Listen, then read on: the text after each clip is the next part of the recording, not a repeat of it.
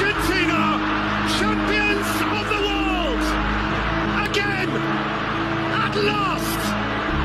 And a nation will tango all night long! 36 years since Maradona and Mexico! Here, finally, is a nation's new throng of immortals! Will be sainted. France this time denied, defied. Lionel Messi has conquered his final peak. Lionel Messi has shaken hands with paradise. The little boy from Rosario, Santa Fe has just pitched up in heaven. He climbs into a galaxy of his own. He has his.